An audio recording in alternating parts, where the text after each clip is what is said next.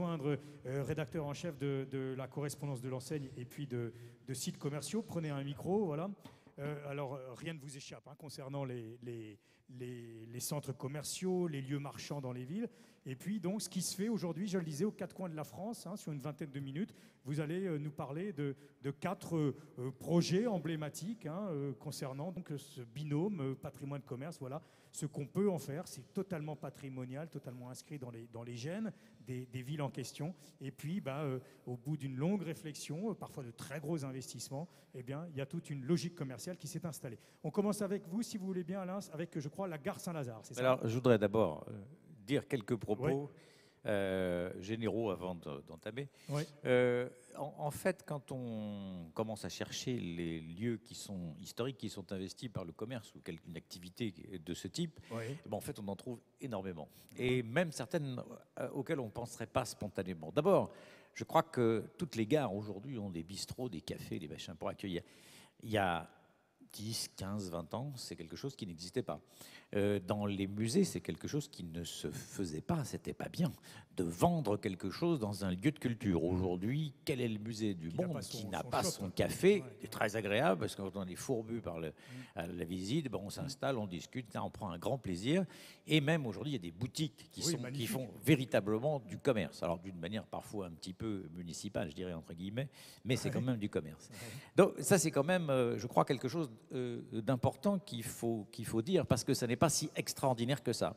Et en quelques minutes, euh, finalement, quand je, simplement cherchant comme ça dans la tête, je trouve le- la galerie du Carousel du Louvre, Mhm. qui est quand même un, un- un- un haut lieu de commerce et un haut lieu de culture en un. Le café Marly, qui est installé dans l'aile droite de, du Louvre, Bercy Village, qui, a été, qui est un centre commercial qui a été fait dans les chais de Bercy, Mhm. hein, puisqu'autrefois on appelait ça avoir la fièvre de Bercy, ceux qui caressaient un peu la bouteille. Maintenant on peut avoir la fièvre de Bercy euh, beaucoup plus facilement. Euh, L'hôtel de la Monnaie de Paris, qui est en train d'être transformé euh, avec un restaurant, trois étoiles, un, un, un étoilé Michelin, et puis des boutiques de luxe. On verra pourquoi j'insiste sur le fait de luxe. L'hôtel Dieu à Lyon, idem. Euh, la FNAC de Nantes, qui est installée dans la bourse, de l'ancienne bourse de commerce. Euh, la galerie commerciale de l'Aubette à Strasbourg, qui est dans un ancien corps de garde du 16e ou du 17e siècle. Les docks 76 à Rouen, qui ont été complètement rénovés. Ceux de Marseille, que nous allons voir parler, euh, oui. tout à l'heure en image. La Saint-Louis à Brest. On pourrait, euh, comme ça, la caserne de Beaune, la cour des Capucins à Thionville, l'espace Grand Rue à Roubaix. Et un, truc extraordinaire qui a été fait en Pologne, puisqu'on en parlait à l'instant, euh, c'est Manufactura, euh, qui est une ancienne, l'ancienne usine textile euh, Poznański, qui a été transformée en centre commercial gigantesque et qui réussit extrêmement bien. Alors, je voudrais dire juste deux, trois trucs aussi, des, généralités, mais qui me semblent importants. D'abord, quand on met du commerce dans un lieu tel que celui-ci, évidemment, il y a un problème d'enseigne, un problème de concept. Est-ce qu'on peut mettre, mais je n'ai rien contre eux, au contraire, ils sont des formidables professionnels, McDonald's en dessous du palais princier de Monaco. Eh bien oui, on peut le faire. Simplement, il faut de la volonté. On a dit à McDonald's quand il s'est installé à Fontvieille qu'il pouvait tout faire tout ce qu'il voulait, mettre un, un- un- un fast-food à la seule condition de ne pas mettre du rouge et du jaune. Alors il a mis du doré. Mhm. Donc il a Comme ça, on a le voilà. Et là, il y a couleurs, eu euh, il y a eu un effort et de, de là est née une politique même de l'enseigne McDonald's de s'attacher à s'intégrer quand ils se mettent par exemple d'en faire Rochereau, ben, ils font un dommage à Eiffel, etc. Donc, et ça, finalement, ça participe véritablement du commerce. Il peut y avoir des problèmes d'approvisionnement, parce qu'évidemment, ce sont des lieux qui n'ont pas été construits pour. Euh, il y a un problème de gestion, parce que, évidemment, on s'en remet à ce moment-là à la ville, ou alors on trouve un concessionnaire. Mais ça peut poser des problèmes, et des problèmes politiques, parce que, évidemment, l'opposition, quelle qu'elle soit, dira toujours ce maire a vendu le patrimoine de la ville à un promoteur naturellement, euh, comment, euh, euh, voilà, euh, tout à fait. Et, et Ouais. donc, ça peut poser des problèmes de ce type. Pire, une chose peut-être plus importante, c'est, ce sont les loyers. Parce que j'entendais tout à l'heure quelque chose qui me choque toujours. On veut quelque chose qui ne ressemble pas à une autre ville. On veut un centre commercial qui ne ressemble pas à un autre centre commercial.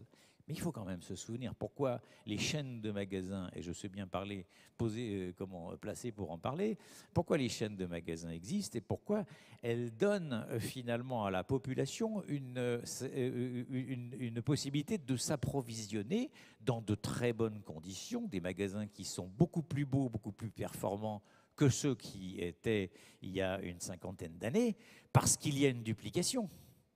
Alors, si on veut plus de duplication, à ce moment-là, il faut trouver du luxe, il faut trouver de l'argent, parce que ce sont des magasins qui coûteront plus cher, évidemment, parce que ce seront des individuels et que l'artisanat coûte nécessairement plus cher Eh que oui, l'industrie. eh oui. Passons sur ce point. Alors, il y a quand même énormément d'avantages aussi. Évidemment, un lieu historique, c'est évidemment un lieu connu. Un, un lieu historique avec du shopping, c'est du shopping en plus, donc c'est une, une occasion supplémentaire de visiter ce lieu. Et, euh, et naturellement, le dernier, le pompon, naturellement pour la ville, qui a quelque chose, qui a transformé quelque chose comme ça, eh ben, c'est d'avoir euh, un peu d'argent qui rentre et un souci en moins pour entretenir son patrimoine. Allez, allons-y Voilà. si vous voulez bien, Alain, avec le premier exemple. Je crois que c'est la gare Saint-Lazare, euh, chantier titanesque hein, qui a été inauguré. Alors c'est un chantier titanesque si on peut envoyer les images. Oui, voilà. Je connais un petit peu, je ne suis, je, je voudrais vous rassurer, je ne suis pas promoteur, euh, mais euh, je peux parler un peu de ces endroits que, euh, pour les avoir visités et étudiés. C'est moi qui fais, d'accord, pas de problème. Très bien. D'accord, ok. Alors, première image. Allons-y, parce que je crois qu'il y a pas en mal fait, d'images. alors c'est c'est intéressant parce que euh, c'était c'était un ch- chantier titanesque, non pas par la, la dimension, mais c'est surtout parce que la gare, évidemment, ne s'est pas arrêtée et qu'il a fallu faire des reprises considérables en sous-sol pour arriver à mettre les deux étages qui ont servi à installer le centre commercial. Euh, je vous- euh, voilà, alors bon, là c'est- un peu d'histoire, c'est pas moi qui ai fait le PowerPoint, donc euh, je vous laisse euh, le découvrir. Ce qu'on sait, c'est que ce bâtiment est, le premier, est la première gare de Paris et que c'est un monument euh, classé historique. C'est la donc- plus vieille gare de Paris. Voilà, la plus vieille gare. Donc on est, on est vra- bien dans, le, dans, ce, dans cette configuration. Il fallait la refaire parce qu'elle était très vétuste. Elle n'avait pas été rénovée depuis très longtemps. Et quand on veut se lancer ce genre de travaux, même quand on s'appelle la SNCF et qu'on a quand même quelques moyens, eh bien, il faut trouver de l'argent. Et le mieux, c'est encore de taper les commerçants. Ce qui a été fait. Ça n'avance plus. Oui, ça avance pas très bien là. Allez. Là. Voilà. Alors, le, le travail qui a été fait et qui n'a pas été fait facilement, pourquoi? Eh bien, parce qu'on s'at- on s'attelle là à quelque chose, évidemment, qui appartient euh, à la SNCF, c'est-à-dire à l'État, même si la SNCF, c'est l'État dans l'État, ce qu'on sait bien, euh, et que ça n'a pas toujours été facile pour la CGC qui a mené ce chantier euh, de main de maître. La signature de la convention qui a failli être cassée, qui a été renégociée, etc., ça a été extrêmement compliqué. Et finalement, le résultat, tout le monde est content, la SNCF comprise, le promoteur, n'en parlons pas, et euh, les clients encore plus, puisque euh, Saint-Lazare est une des premières destinations de commerce d'Europe. Et euh, ça ajoute là une dizaine de milliers de mètres carrés qui sont investis par des enseignes globalement assez intéressantes, parfois un peu originales, puisque Carrefour, comme on le voit ici, vous voyez, là, les deux locomotives qui sont à gauche et à droite, c'est-à-dire aux deux extrémités de la galerie, c'est Esprit, une grande surface d'habillement qui doit faire une 12, 1200 mètres carrés, et euh, Carrefour qui s'est installé là en proximité centre-ville. Vous avez aussi le, je sais pas, le, le, le- le prix unique qui est de chez vous. Emma, c'est euh, danois ou c'est Néerlandais? euh, C'est hollandais? C'est Ouais. c'est hollandais, c'est voilà, ça, bon, très bien. Et, euh, et, et aussi euh, Monoprix qui n'a pas voulu être en reste. Alors, on voit tous les. bon, Alors, on va, bon, pas on voit les les, citer, mais voilà, voilà. bon, tout ça, c'est très intéressant. Mais ce qu'il faut peut-être remarquer, c'est que ça s'intègre parfaitement à la gare, euh, dans une architecture parfaite. Ils ont réussi à amener énormément de lumière, c'est-à-dire à Mhm. avoir l'avantage finalement d'un centre commercial ultra moderne et d'un sans avoir touché au patrimoine, ce qui est assez important. Voilà, vous avez euh, quelques images, puisque en fait, le centre commercial, le mall, est lui-même un terminal de gare. On voit là des, des panneaux indicateurs qui, pour l'heure des trains. Ouais. Vous avez, mais il vous suffira d'y aller, c'est assez facile, euh, des enseignes qui sont remarquables comme Muji, comme Kiko, qui sont des trucs modernes, euh, puis aussi des musts comme Sephora, etc. Tout le monde, évidemment, a voulu être là Mm, mm. pour un niveau de loyer qui est euh, costaud, on va Alors, dire. et Voilà. d'ailleurs, justement, tiens, je vous interroge juste une seconde. Alain, les premiers, vous, qui- vous qui connaissez bien le milieu, les premiers retours en termes de fréquentation et de chiffre d'affaires? Bah, écoutez, il y a une chose, je vais, je vais vous dire euh, honnêtement, euh, je ne m'y suis pas intéressé depuis longtemps. Mais comme je n'ai pas entendu de déco négatif, c'est que ça, doit marche marcher. bien, alors. D'accord. Alors, la suite. Il n'y a pas de raison d'ailleurs que ça n'ait pas. Personne ne s'est vraiment posé la question sur le fait de savoir si ça allait marcher. Hmm. Tellement c'était évident, c'est ça Oui, parce que le quartier Ouais. entier est un des plus euh, gigantesques de- centres commerciaux. Ce triangle-là doit faire, je crois, un demi-million de mètres carrés avec les grands magasins, euh, le passage du Havre et puis toutes les rues environnantes. Donc euh, ça, ça ajoutait quelque chose, une espèce de porte, porte d'entrée finalement sur ce, sur ce centre commercial naturel. Alors je ne sais plus, on Voilà, est... euh, je l'ai dit. voilà, voilà, mois, on y voilà. est. Bon. Alors, voilà pour euh, la gare Saint-Lazare. Euh, on va passer, si vous voulez, au passage Pommeret, qui est un endroit délicieux pour ceux qui connaissent. Oui, à- alors le passage-. Je vais, si vous permettez, je vais me Ouais. lever parce oui, que, en fait, cet écran de contrôle, je le vois assez mal Voilà. et je vais, euh, voilà, je vais occuper un petit peu l'espace et je verrai, je verrai, je verrai mieux de quoi je parle tout de même. Voilà. Alors là, en étau, on n'est pas au passage Pommeret, là, je Euh, crois non, pas. mais on va nous mettre le passage Pommeret. Non, mais je ne sais pas ce que c'est. Oui, moi non plus. Mais, euh, Merci de votre attention. Écoutez, c'est- Merci de votre c'est très gentil. On va. Mais c'est peut-être la gare Saint-Lazare, tout bonnement Non, encore, je ne crois pas que ce soit la Parce gare qu'il y avait plusieurs Saint-Lazare. niveaux, si, à mon avis, c'était ça. encore. Si. Allez, le passage Voilà, c'est la fin de la gare Saint-Lazare. Si on peut Alors, si la régie peut nous donner que- de la, de la régie. Voilà. Les Alors, docks juste- de Marseille ou le passage Pommeret, Voilà, c'est pareil. Et vrai que le passage Pommeret, pour ceux qui Alors. connaissent, c'est un endroit délicieux, hein, je le disais. euh. C'est un endroit historique, délicieux et extrêmement original. Mm. Alors, c'est pas tout à fait la même chose que. enfin, on, on est dans le commerce qui a fabriqué le patrimoine, non pas dans le, dans le, pat- Dans dans le patrimoine qui a reçu le commerce. C'est quand même assez différent. Cependant, il y a une chose intéressante. Il faut que je défile. Je sais pas ce que. Voilà. En fait, ouais, il faut, Ah, voyez, il faut viser vers, le, vers la régie, comme ça, ça marche, ça marche mieux. Voilà. Bah, je- là, je on le voit bien. Là, là on le Je voit vais bien, voilà. viser le régisseur, et comme ça, je- ça va. Voilà. Voilà. Du bazar oriental. Voilà. Alors là, il n'y a pas grand-chose à dire, si ce n'est que c'est une assez petite surface.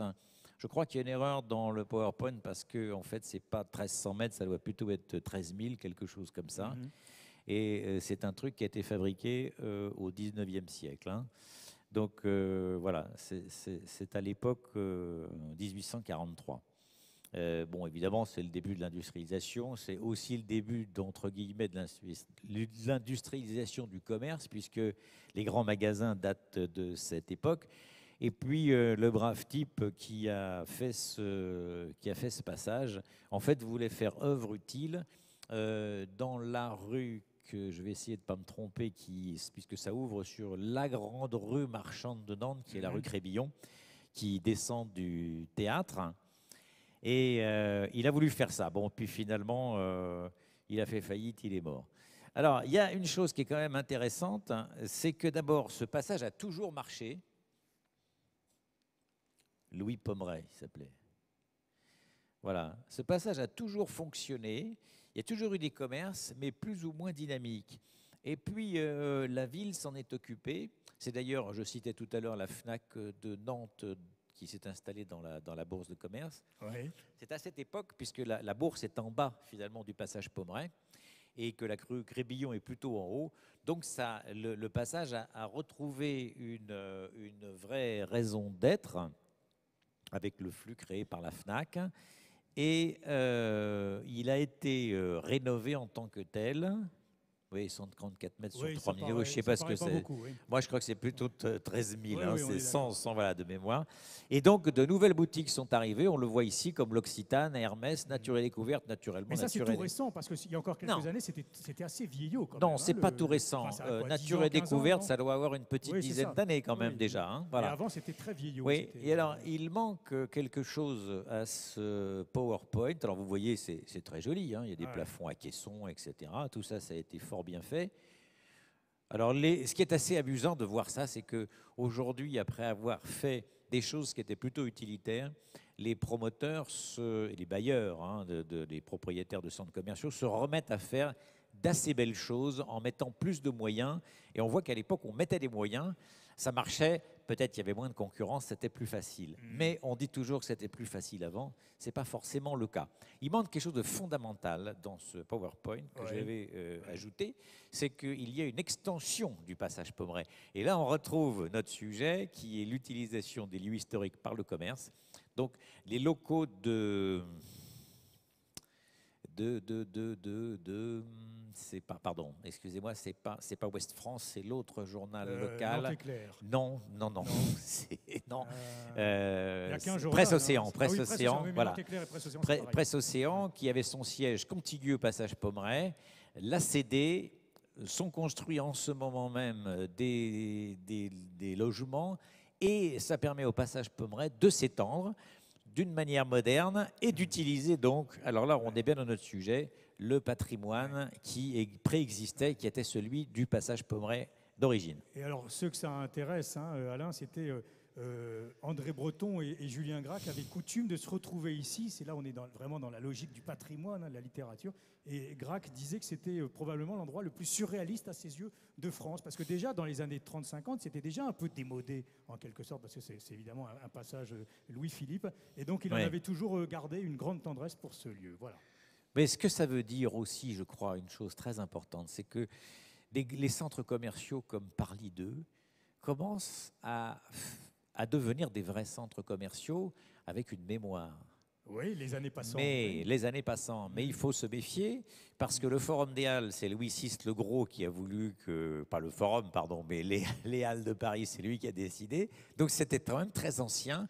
Et avant de créer un lieu de commerce, il faut quand même bien se mettre dans la tête que ça prend des années, des dizaines d'années et parfois des siècles. Bon, ben, rendez-vous Voilà. dans quelques dizaines d'années pour, le, pour parler Alors, de la patine. euh, Alors, est-ce qu'on a vu concernant. remarquez, euh, l'autre disait, oh, c'est raison de plus pour commencer tout de suite. hein, ça Voilà, peut être aussi. Une, Alors, est-ce qu'il y a encore des images concernant mais il y a euh, des le images. Non, la Pommeraye, c'est fini. Non, non, voilà encore. Oui. Voilà, bon, là, ce sont euh, toutes les. la- la- le car- oui, C'est dans les le détail, allégoriques sont c'est très dans le connues, détail, très hein. remarquables, oui. Voilà. Bon, voilà, succès, déclin. Voilà, il est ruiné. ruiné. Voilà, ça c'est ce que je vous avais dit au Voilà, début pour vous mettre euh, dans le bain. Voilà, c'est ce que je disais, il a été très désaffecté. Et il a été voilà, Voilà. Classé monument historique en 76. Donc c'est pas si. Voilà. euh, Bon, merci pour si votre ancien. attention. Voilà donc pour le passage Pommeret. Allez, on part à Marseille, si vous voulez bien, Alain, pour euh, bon, quelque chose, vous en avez beaucoup entendu parler, hein, Euromed, la rénovation des, docks, bien évidemment, projet absolument titanesque. Voilà, ben, sur les docks, il y a une grosse opération commerciale, quelque chose d'assez remarquable qui va probablement euh, bien transformer euh, toute cette partie euh, ingrate, quand même, qui était devenue euh, vers bah, la Joliette. euh, et la partie ouest de Marseille. C'était très ingrat. Euh, Il y a encore beaucoup de boulot parce qu'il y a encore toute la, ré- la République à faire. Il y a encore les terrasses du port, le Mm. centre commercial que construit à On en parlera demain avec à le- faire, j'espère. Oui, parce que Amerson. oui, c'est un superbe projet. Ouais. Euh, il y a euh, bon, tout un tas de, de- de programmes de, hum, comment, d'urbanisme et de commerce dans la ville de Marseille.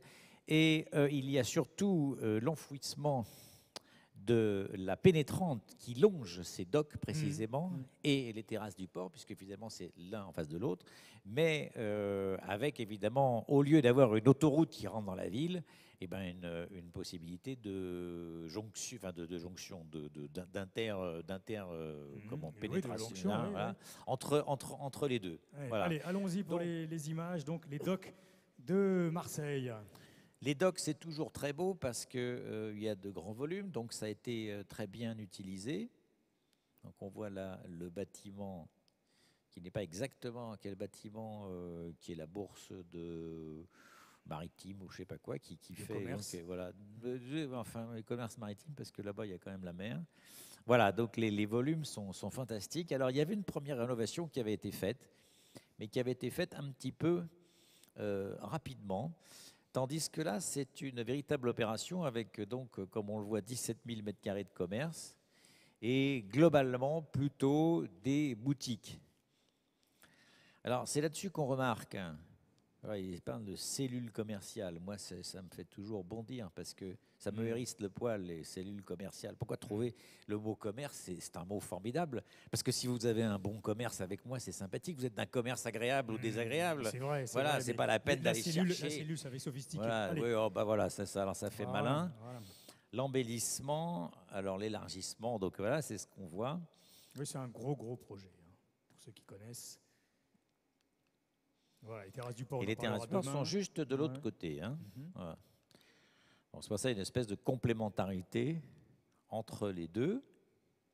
Évidemment, tout ça donne sur le port de. Commerce. Non, c'est pas. Ce sera plus. Oui, c'est le Oui, port de enfin, commerce. le port de commerce. Oui, mais c'est le terminal des. Des ferries. Non, euh, Non non, non, des croisiéristes. Ah, des croisières. Oui, ce qui est quand même plus intéressant parce que, bah oui, parce Oui. qu'il y a beaucoup de monde dessus Oui. et, beaucoup de monde qui risque de consommer. Alors, vous voyez, euh, on, on remarque là, euh, le long de cette, euh, en fait, c'est le long de cette façade, la rue va devenir une rue tout à fait normale, c'est-à-dire que ce ne sera plus un- une autoroute. Et donc, les- on voit bien les, les- avec les toits, on voit les docks. Et en pied d'immeuble, donc, on a des commerces qui s'ouvrent sur la rue et, et qui vont profiter, attirer du monde et profiter évidemment de cette affluence. Mhm. Voilà une vue qui. Bon, voilà tout ce qu'on pourra y trouver. voilà.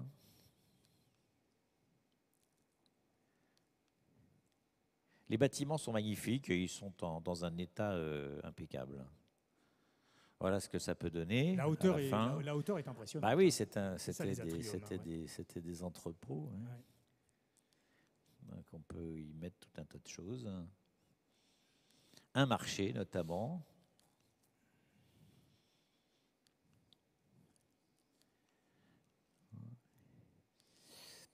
Et alors c'est là que on. Ah, les matchs de l'OM. Oui. Il est passé un peu vite, Il mais est vous passé avez un vu peu vite, pourra- mais ça c'est quelque Voilà. chose d'important, voilà, avec une projection Ah bah vous voyez si ça pour ceux qui n'auront pas de place. hein. voilà. Alors c'est dans ce projet-là, je crois que la slide est passée un petit peu vite, Mhm. euh, que euh, les responsables ont l'intention de mettre 30% de commerces qui ne sont pas des commerces, d'après ce que j'ai compris, des commerces de grandes enseignes, des commerces de chaînes, etc. Et il y aurait même donc des, des indépendants aussi qui, je Oui, crois, alors, auraient la possibilité, Ben, en quelque sorte, alors, il y, a deux, rendre. il y a- il y a deux solutions. Ou ce sont des indépendants aux reins extrêmement solides, Ouais. ou alors ils y seront de leur poche. Ce qui est possible. Enfin, Ouais. Dans les deux cas, pourquoi pas. Mais il faut être clair dans Alors, les, dans les ouais. choses, parce qu'on peut pas un commerce pour qu'il déménage huit jours après. Qu'est-ce que vous en pensez de ce projet, Alain? Ça vous semble? Parce qu'il va falloir faire bouger. C'était un, Non, coin, mais le- le un pro- coin pas forcé, un peu déshérité quand même, un peu éloigné. Ah oui, mais il y a une Mais vraie volonté. On est, non, il y a une vraie quand même en volonté. bord de mer. Non, il y a une vraie volonté de la ville. Euh, Ouais. Les terrasses du port, c'est quand même euh, plus Ouais. de 50 000 mètres carrés qui sont de l'autre côté. Il y a la rue de la République qui est en euh, pleine rénovation. Il y a véritablement de la part de la ville une volonté de, Mm. de, de, de, de, de, de- régénérer tout ce, tout ce Ouais. côté Euromède avec euh, le, le silo, le grand silo qui va être transformé en cinéma, etc. Et puis il y aura le musée, le, le fameux musée des civilisations méditerranéennes sera dans le coin. Je, je crois, oui, je crois d'ailleurs qu'il est de l'autre côté, effectivement, un petit peu, un petit à peu plus loin. de, de l'inauguration de Marseille, Ouais, ville ouais. euh, capitale de l'Europe. Je crois que vous, Maastricht, vous voulez être capitale de l'Europe en 2018. Marseille, c'est en 2013. Voilà. Alors, on repart à Nantes avec le lieu unique. Donc, euh, alors, je le dis pour les étrangers parce que lieu unique, c'est L et U, c'est LU. Et LU, c'est un des biscuits les plus connus en France. hein. Voilà. Pour, tous les enfants connaissent le LU. Voilà. Oui, qui doit, qui petit appartenir aujourd'hui à l'américain Cargill ou quelque chose Euh, comme Kraft il y a- Food, ou- ou. Kraft Food, oui, voilà. Bon, mais c'est euh, bien français, pourquoi pas?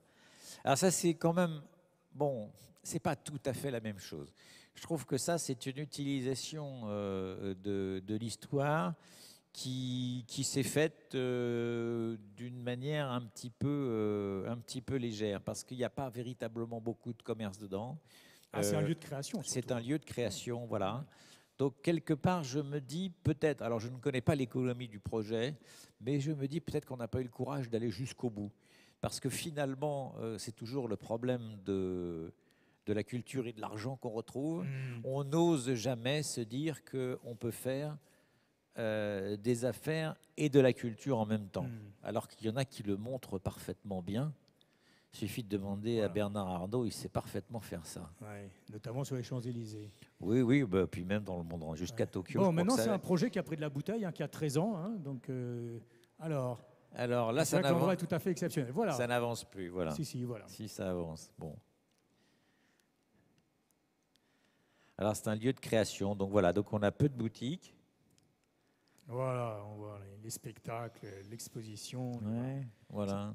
Ah, C'est un peu particulier, hein, c'est un truc encore. euh, les usines Luce, je sais pas d'ailleurs, c'est du, du 19e, non Oui, oui, doute, 19e, et puis avec ces lanternons euh, absolument extraordinaires qu'on faisait à la fin du siècle. Voilà. quoi, voilà. Alors on s'aperçoit quand on, en fait, aujourd'hui, il faut se dire que on va de moins en moins construire ex nihilo.